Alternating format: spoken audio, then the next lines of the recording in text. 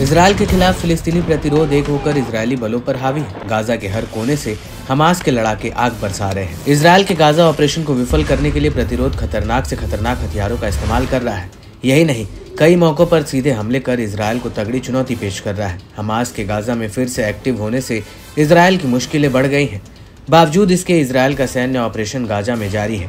IDF ज़मीन और हवाई दोनों हमले कर लड़ाकों का सामना कर रहा है। वहीं गाजा की हिफाजत में लड़ रहे हमास लड़ाके छिप कर गोरिल्ला युद्ध लड़ रहे हैं, जहाँ वे इजरायली बलों पर कहर बनकर टूट रहे हैं।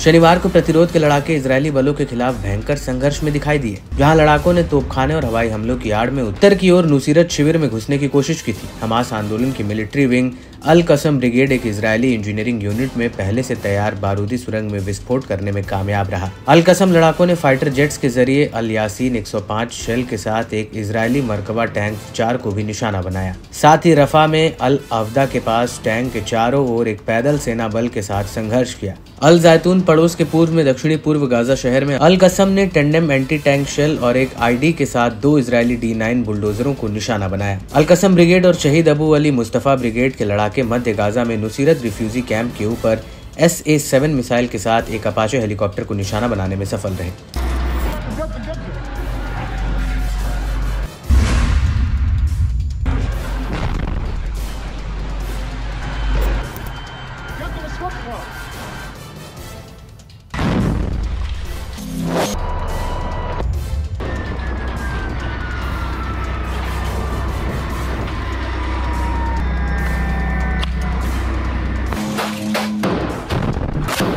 वही फिलिस्तीनी इस्लामिक जिहाद की मिलिट्री विंग अलकुत्स ब्रिगेड ने दावा किया कि उसके लड़ाकों ने इसराइली नरसंहार के खिलाफ रॉकेट बैराज के साथ गाजा में कब्जे वाले फिलिस्तीनी शहरों और इजरायली बस्तियों को निशाना बनाया।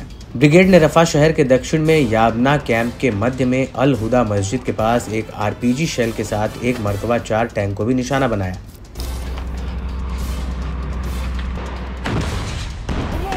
साथ ही अलकुत्स लड़ाकों ने आरपीजी शेल के साथ एक इजरायली सैन्य वाहनों को निशाना बनाने का भी दावा किया। इससे रफा शहर के पश्चिम में सऊदी पड़ोस में तैयबा मस्जिद के पास बिल्डिंग में आग लगने से वे खाक हो गई।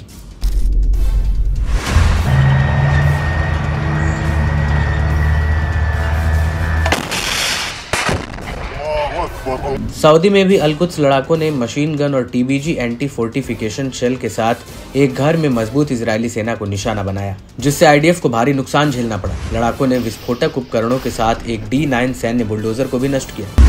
रफा के पश्चिम में सऊदी पड़ोस में संयुक्त राष्ट्र की एजेंसी के क्लिनिक के पास एक इजरायली सैन्य वाहन को टेंडम शेल से शिकार बनाया। ब्रिगेड ने रॉकेट बैराज के साथ रायम सैन्य अड्डे को निशाना बनाने के दावे की पुष्टि करते हुए एक वीडियो भी रिलीज़ किया। जिसमें लड़ाकों ने रॉकेट से इसराइली खेमे में ज़बरदस्त खलबली मचाई। लंबी दूरी के इन रॉकेट से इसराइल को काफ़ी नुकसान का अंदेशा जताया गया है।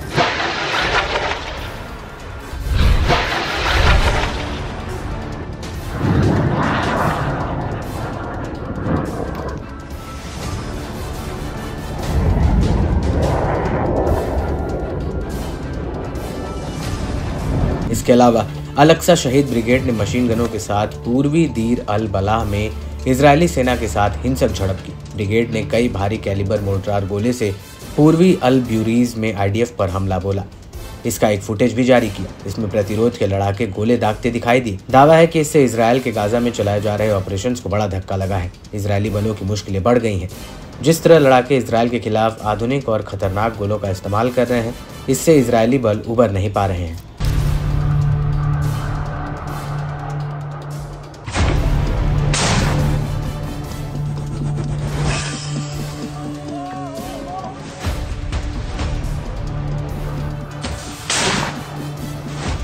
वहीं अल मुजाहिदीन ब्रिगेड ने गाजा के मध्य में आईडीएफ का सामना करते हुए कई इजरायली सैन्य वाहनों को तबाह करने का दावा किया। इस बीच दावा है कि इजरायली बंदियों की सुरक्षा कर रहे प्रतिरोध सेनानियों की नुसरात शिविर पर हमला करने वाली इजरायली सेना के साथ झड़प हुई, जिसमें यमम यूनिट के एक आईडीएफ जवान की मौत हुई।